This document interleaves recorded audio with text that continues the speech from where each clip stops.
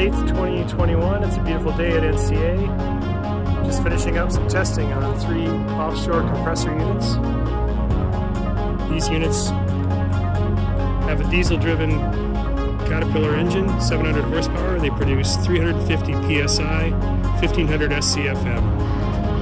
Primarily used for offshore pipeline testing and drilling applications.